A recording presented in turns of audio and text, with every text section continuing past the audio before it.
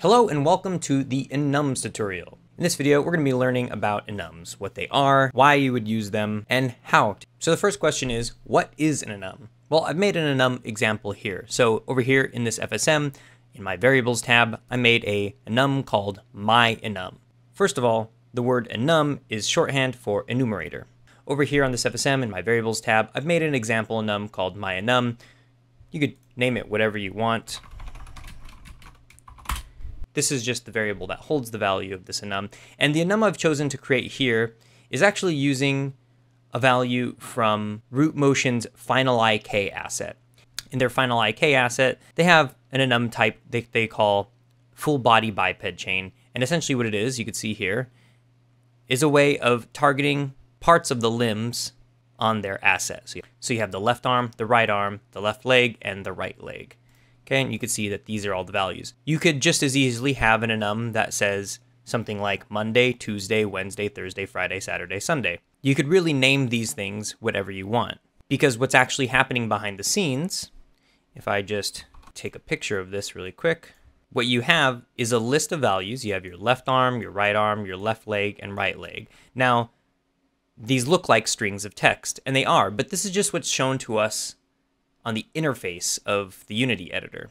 Because what's happening behind the scenes is this is just a standard zero based index. So this is zero, this is one, and this is two, and this is three. So why would you want this? Why wouldn't you just make, say, an array of strings or just using string variables outright? And the reasons for that are simple. First of all, processing numbers is a lot faster than processing strings there's less information to parse through, and also the order in which they're arranged is easier for the computer to understand as opposed to the arbitrary order you might want to set with string variables. So it's fast. If the numbers are faster, then you might think, well, why don't I just use an int value?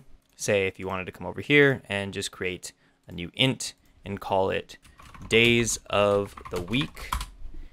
And then you could say, well, Sunday will be zero so if I put 2, this would be Tuesday, etc., etc. But the problem is, is that once you come in and start programming this, you're going to have to remember all of that. You're going to have to remember each of those numbers.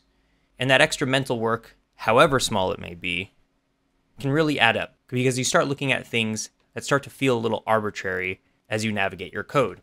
It's easier to read the text itself left arm, right arm, left leg, right leg makes a lot more sense in the moment than just 0, 1, 2. Okay, so it's about the readability as well as the processing speed. So you get both. You get something that is being processed as fast as numbers, but as you're actually designing things, you get the benefit of seeing natural language representation of it, right? The words.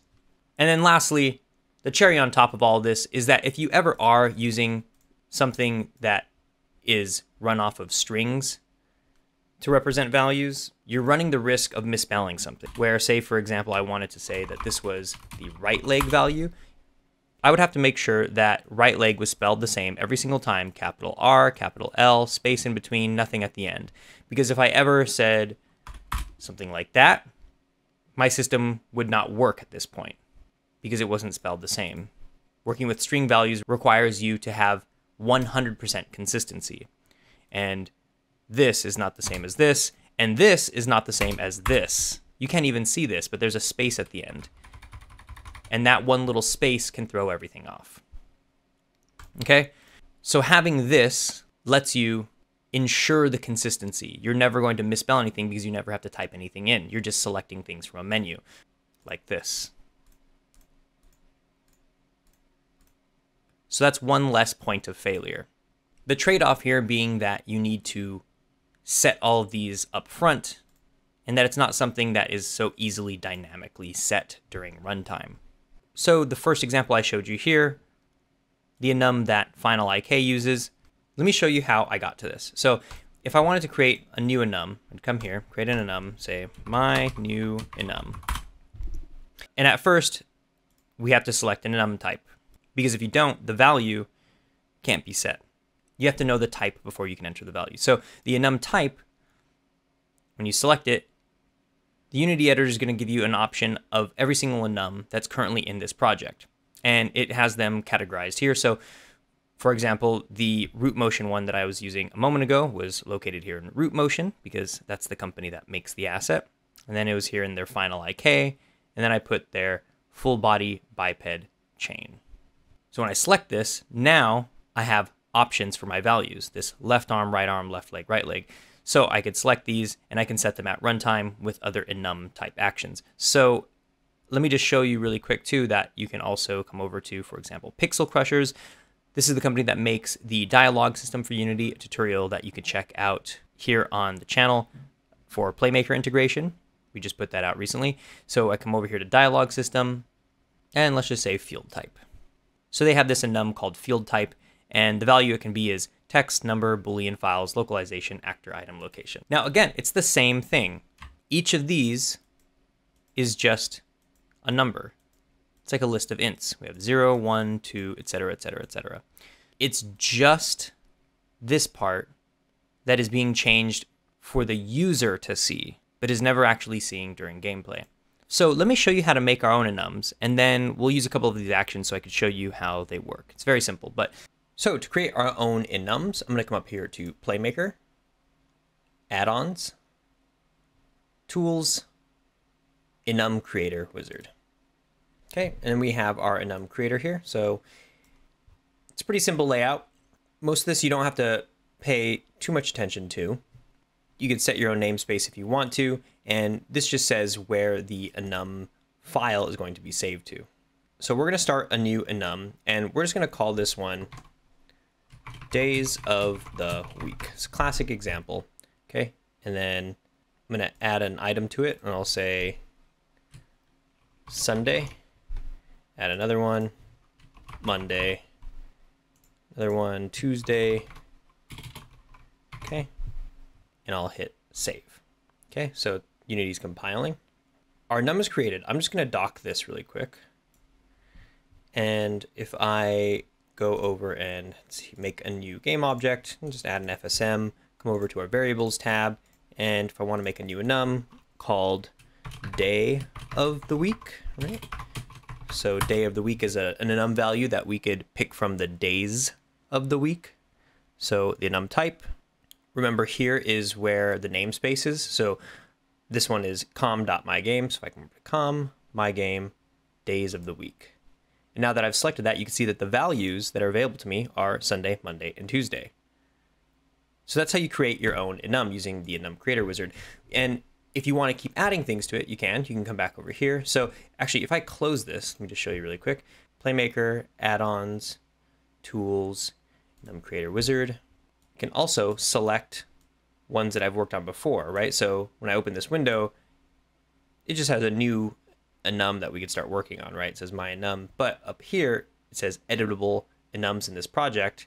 You might have to open this little drop down here, but you can see that days of the week is here. So if I go ahead and edit it, it says you are editing an existing enum, and here's where I can add additional values. So I could come in and hit add Tuesday, Wednesday, Thursday, Friday, set to okay. And it loops back around to Sunday. So I can hit save let Unity compile for a sec. And I'm just gonna go ahead and close this now. You can see that our values have updated. Okay so let's let's give this a spin really quick. We're gonna just go over a couple actions because it's actually pretty straightforward. In our action browser I'm just gonna type in a num. So you can see all our actions here. And really it's just about a way of tagging things or defining things. So you can see that the actions available to us are very much around this logic of whether or not an enum is kind of true or false. So instead of relying on a bunch of bool values, you know, it's very common to end up with a bunch of bool values that all represent the same category. Like if you had an array of bools that said is Monday, is Tuesday, is Wednesday, etc., etc., you could just use an enum instead and you wouldn't have to set all the other bools to false. You could just rely on one enum to come back as true. And that's why we have stuff like the enum switch. So the enum type here, we could say is our com, my game, days of the week, right? And the enum variable, we could say, is our day of the week. You can create some switches. So we'll say there's uh, three of them. And we'll say that only on uh, Fridays, Saturdays, and Sundays does something happen, right? So you can have a, an enum switch where it says like weekend, right? And it's like the same for all of these, you know, and then if it's anything else, you could have it do something else. So you can have Monday and Tuesday, Wednesday, and Thursday all send for weekday, right? So all these can have that.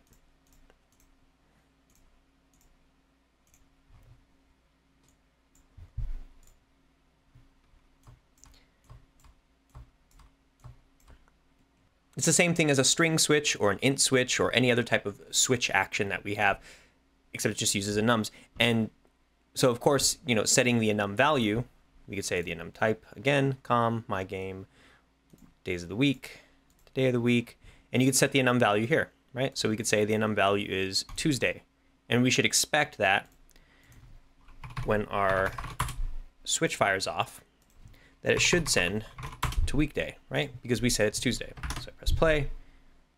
Yep, sends to weekday, right?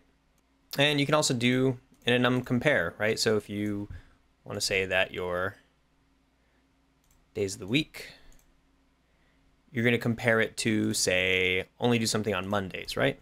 Uh, and if it's equal, right, we'll, we'll put this one over here. We'll say, set as the start state, okay? We're going to compare it to Monday, and if it's equal, then you're going to say 8 life. Uh, but if it's not equal, be semi-okay with life, right? And you could do the set enum value again.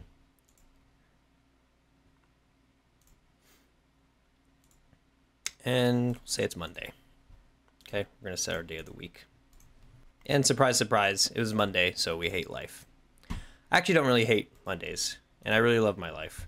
Uh, Mondays are actually pretty cool. I always see them as a way to start anew. It's kind of like a breath of fresh air in a lot of ways. Uh, but I guess if you, well, let's not go down that road. Okay, so you have get FSM enum, set FSM enum, and debug enum just sends to sends to the Playmaker log window based off of enum values. Okay, enums are pretty straightforward, but now you at least know that you can come over to your tools and use your enum creator wizard uh, to create your own enums because being able to have a uh, consistent way of like a human readability sort of value uh, without the sort of all the problems that come with using string values where you could be misspelling things or accidentally putting in like i showed you those little invisible spaces in nums in that way they really have you protected. Um, sometimes yeah it does take that extra little effort to come over here and add the value to the enum itself like we wanted to add an extra day here or remove a day or something like that it could really it could really pay off in just holding a more stable system and then of course you do have the flexibility to convert enum to string. So this convert enum to string lets you change your, let's see if I change this, days of the week, right? So we have our day of the week. You could set it as a string variable. You could say day of the week underscore string, right? And that'll spit out a string value for you. So let me just turn off this enum compare, right? And if I play this, you'll see that now we have a string variable that says the exact same thing our enum says. Okay, so you do still have the option for flexibility if you wanted to work outside of the rigid sort of integer list that enums are behind the scenes. Okay, and that's how you can use enums in your Playmaker project. Be sure to check out our other videos to learn all the various features of Playmaker. Links to more learning resources are in the description.